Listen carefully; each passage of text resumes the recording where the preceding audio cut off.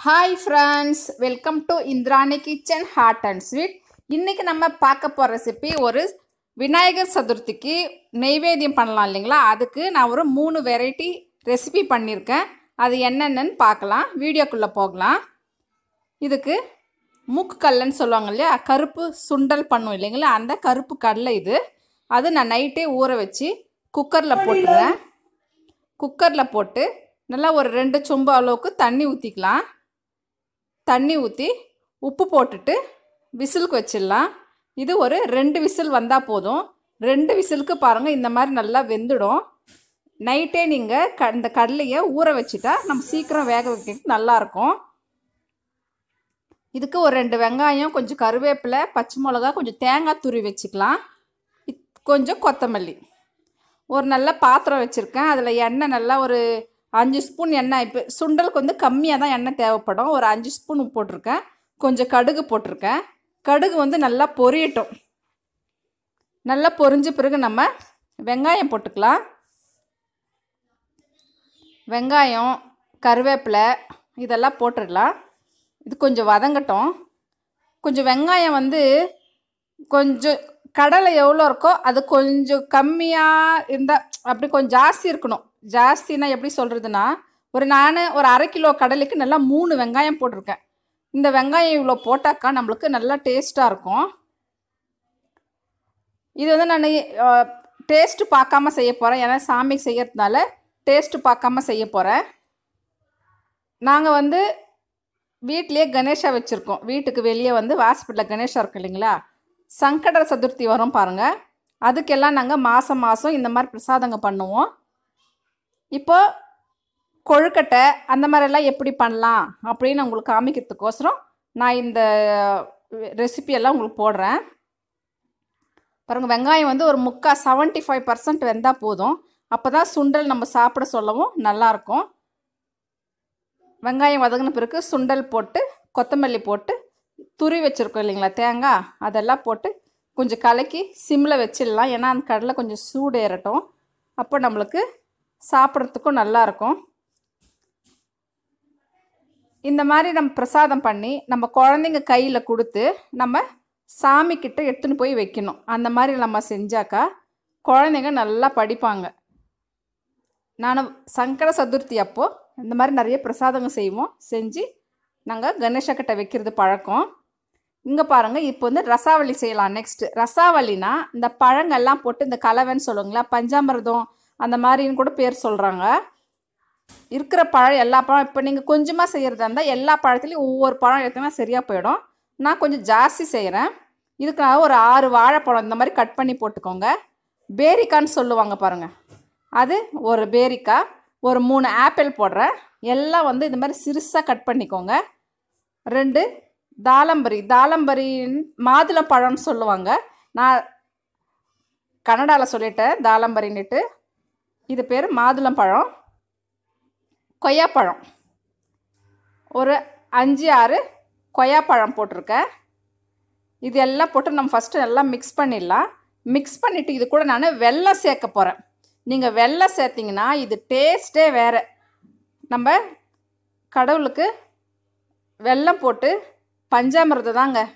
சூப்பரான டேஸ்ட் இருக்கும். ஆனால் இது பஞ்சாமிரதம் நம்ம பேர் வச்சிடலாம். இது கூட கொஞ்சம் ஒரு ஸ்பூன் நெய் போட்டோன்னு வச்சுக்கோங்களேன் அப்படி தான் இது வந்து ஒரு பழங்கள்லாம் போட்டு கலவை சூப்பராக இருக்கும். செஞ்சு பாருங்கள் இப்போ நம்ம சங்கட சதுர்த்திக்கு ஒரு பொழுது இருப்போம்.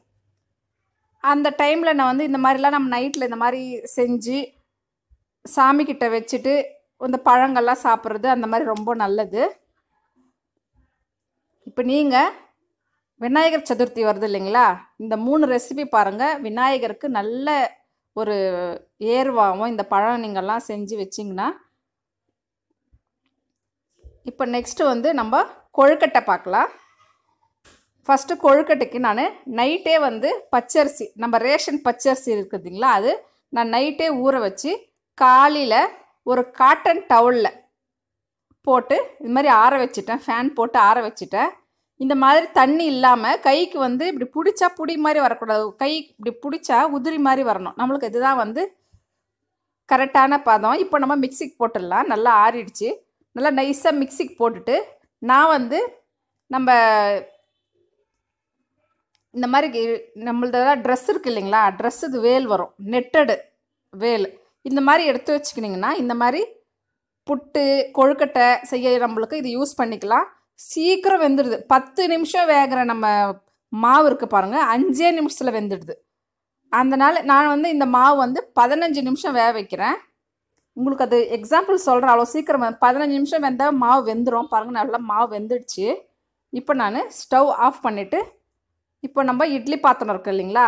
நம்ம அந்த இட்லி பாத்திரத்தில் அடியில் தண்ணி இருக்குது பாருங்கள் அந்த தண்ணி வச்சு தான் நான் மாவு பிசைய போகிறேன் இது நல்லா வேகட்டும். ஃபஸ்ட்டு மாவு வந்து நல்லா வேகட்டும். அந்த பதினஞ்சு நிமிஷம் வெந்தாக்கா மாவு கரெக்டான வெந்துடும் நீங்கள் மிக்சியில் போட்டு கரெக்டாக டைம் பார்த்துக்கோங்க பதினஞ்சு நிமிஷம் வேகட்டும். நெக்ஸ்ட்டு பூர்ணம் செஞ்சுக்கலாம். இந்த வேகிற டைமில் வந்து நம்ம பூர்ணம் செஞ்சுக்கலாம். கலக்கா கொட்டை நல்லா ப்ரௌன் கலராக வரட்டங்க. அந்த மாதிரி வறுத்துக்கலாம். மிக்ஸி ஜாரில் ஒரு மூணு ஏலக்காய். மூணு ஏலக்காவை நான் உரிச்சிட்டு உள்ளே இருக்க பாருங்கள் அது மட்டும் போடுறேன். அது கூட ரெண்டு பிடி கலக்கா கொட்டை போடுறேன். அது கூட ஒரு கைப்பிடி அளவுக்கு வெல்லம் போடுறேன். வெல்லம் வந்து நீங்கள் நல்லா கல் போட்டு நல்லா குத்திடுங்க. இந்த மாதிரி ரொம்ப தூள் ஆகிற வரைக்கும் குத்திடுங்க. ஏன்னா பெரு பெருசாக இருந்தால் மிக்ஸி பிளேடு ஜா போயிடும். அதனால் நல்லா தூளாக அரைச்சி மிக்ஸிக்கு போட்டு இந்த மாதிரி பவுட்ரு பண்ணி கொட்டிக்கலாம். ஒரு பாத்திரத்தில் இந்த மாதிரி நான் மூணு முறை போட்டு கொட்டி வச்சுருக்கேன். ரொம்ப நைஸாகவும் இல்லாமல் கொஞ்சம் இதுவாகல இந்த மாதிரி நான் காமிக்கிற பதத்துக்கு மிக்ஸிக்கு போட்டுக்கோங்க. நீங்கள் ஒரு அஞ்சு நிமிஷம் போட்டால் வந்துடும். இப்போ நான் மாவு எடுத்துட்டேன். மாவு வெந்துடுச்சு. மாவு எடுத்துட்டு நம்ம இட்லி பாத்திரத்துலேயே இருக்குது பாருங்கள் தண்ணி அடியில். அந்த தண்ணியை எடுத்துக்கலாம். புதுசாக ஒன்றும் தண்ணி சுடு தண்ணி தேயணும் இல்லைன்னா தண்ணி நல்லா கொதிக்கணும். கொதிச்ச தண்ணியில் தான் நம்ம மாவு பிசையணும் இது கூட ஒரு அரை ஸ்பூன் அளவுக்கு உப்பு போட்டுக்கிறேன். உப்பு போட்டுட்டு நம்ம எடுத்து சூடான மாவில் நல்லா இந்த சுடு தண்ணி போட்டு கையில் பிசையாதீங்க. ஃபஸ்ட்டு இந்த கரண்டியில் போட்டு நல்லா கலக்கிடுங்கன்னா தண்ணி கொதிக்கிற தண்ணி இல்லைங்களா? சூடாக இருக்கும். இந்த மாதிரி தண்ணி ஊற்றி ஊற்றி சப்பாத்தி மாவு நம்ம எப்படி பிசைகிறோமோ அந்த பதத்துக்கு இருக்கணும். நான் உங்களுக்கு காமிக்கிற பாருங்கள் சப்பாத்தி மாவு பிசைகிற இந்த பாருங்கள் இந்த மாதிரி உருண்டை பண்ணால் நல்லா ரோல் உருண்டை வரணும். அந்த இதுக்கு நீங்கள் பிசைஞ்சுக்கோங்க. ரொம்ப தண்ணியாகவும் வேண்டாம். கைக்கு ஒட்டாமல் க்ளீனாக வருது பாருங்கள் இந்த மாதிரி வந்தால் போதும். இப்போ நம்மளுக்கு பூரணமும் ரெடியாக இருக்குது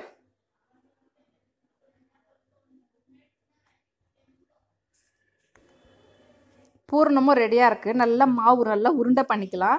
உருண்டை பண்ணிவிட்டு கையில் நான் காம் காமிக்கிறேன் பாருங்கள் இதே மாதிரி நல்லா சைட்லேருந்து இப்படியே நீங்கள் ப்ரெஸ் பண்ணினே வந்தீங்கன்னா அது ரவுண்டாக கப்பு மாதிரி ஒரு ஷேப் வரும். நான் காமிக்கிற பாருங்கள் திரியின் ஒரு முறை கூட பாருங்கள் கப்பு மாதிரி நல்லா மெலிசாக நல்லா கப்பு மாதிரி பண்ணினுட்டு நம்ம பூர்ணம் வச்சுருக்கோம் இல்லைங்களா? இது வந்து வரும் கலக்காய் கொட்டை வெல்லம் ஏலக்காய் போட்டுக்கிறேன் இந்த மாதிரி டி இந்த டேஸ்ட் வந்து எங்கள் பாட்டி வந்து இந்த மாதிரி தான் செய்வாங்க. சூப்பரான டேஸ்ட் இருக்கும். ஆனால் இந்த மாதிரி நல்லா க்ளோஸ் பண்ணி வச்சுக்கலாம். நான் உங்களுக்கு மூணு விதமாக பண்ணி காமிக்க போகிறேன் ஒன்று கையில் இந்த மாதிரி பண்ணலாம்.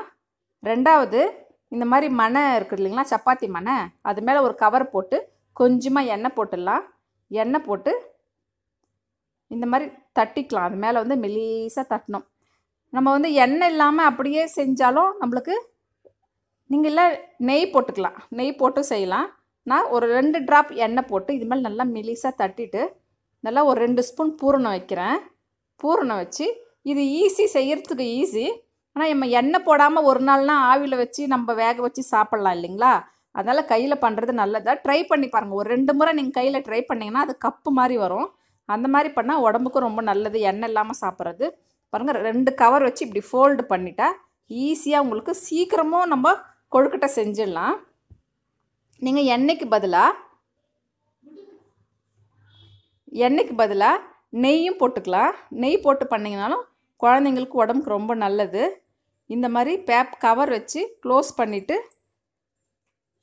க்ளீனாக இந்த மாதிரி ப்ரெஸ் பண்ணி பூர்ணம் வெளியே வராத மாதிரி நம்ம க்ளோஸ் பண்ணி வச்சிடலாம். இது ரெண்டாவது முறை. மூணாவதாக நம்ம மோத்தக்கம் பண்ணலாம். மோத்தக்க ஷேப்லேயும் பண்ணி வைக்கலாம். விநாயகருக்கு மோத்தக்கம்னா ரொம்ப பிடிக்கும் இல்லைங்களா? அதனால் நம்ம மோத்தகம் பண்ணலாம். அதே மாதிரி தான் நம்ம கப்பு பண்ணி காமிச்சோம் பாருங்கள் அதே மாதிரி தான் இதே மாதிரி கையில் சுத்த நீங்கள் மெலீஸாக இந்த மாதிரி தட்டினே வந்தீங்கன்னா அது கப் ஷேப்பில் வரும். அப்புறம் நம்ம இதுக்கு ரெண்டு ஸ்பூன் பூரணம் வைக்கலாம். பூரணம் வச்சு இப்போ நான் மடிக்கிறேன் பாருங்கள் சும்மா அது மேலே மட்டும் அப்படி எல்லாம் ஃபுல்லாக கவர் பண்ணிவிட்டு கொஞ்சம் மேலே கொஞ்சம் ஷேப் வரா மாதிரி பண்ணிட்டிங்களா அதுதான் மோத்தக்கம் இப்போ எல்லாம் ஷேப்பில் பிளாஸ்டிக்கில் வந்துடுச்சு ஷேப்பில் மோதகம் பண்ணுறது கொழுக்கட்டை பண்ணுறது எல்லாம் வந்துடுச்சு நான் கையில் எப்படி பண்ணுறதுன்ற காமிக்கிறேன். உங்கள் விருப்பம் தான் நீங்கள் அந்த மாதிரி வரத்துலேயும் வச்சு நீங்கள் பண்ணிக்கலாம். இப்போ எல்லாம் நான் பிடிச்சிருந்து ஆயிடுச்சு. இப்போ நான் இட்லி பாத்திரத்தில் வச்சிடுறேன். ஒரு காட்டன் துணி போட்டு இட்லி பாத்திரத்தில் கொழுக்கட்டை வச்சு மூடி போட்டு வச்சிடுறேன். இது ஒரு பத்து நிமிஷம் இருந்தால் போகணும் ஏன்னா ஏற்கனவே மாவு வந்து பதினஞ்சு நிமிஷம் நம்ம வேக வச்சுக்கிறோம். இது ஒரு பத்து நிமிஷம் வச்சா நம்மளுக்கு சூடான ஒரு கொழுக்கட்டை மோத்தகம் ரெடி ஆயிடுச்சு. நம்ம விநாயகருக்கு ரொம்ப பிடிச்சமான மூணு நெய்வேத்தியம் பண்ணியிருக்கோம். இந்த விநாயகர் சதுர்த்திக்கு வச்சு நம்ம ரொம்ப அதஸ் அசத்தலாம் கடவுளோட ஆசீர்வாதம் எல்லாருக்கும் நம்மளுக்கு கிடைக்கும். எல்லாரும் சந்தோஷமாக நல்லா இருக்கலாம். இந்த மாதிரி நிறைய ரெசிபி பார்க்கணுன்னா நம்ம இந்திராணி கிச்சன் சேனலை சப்ஸ்கிரைப் பண்ணிடுங்க. Thank you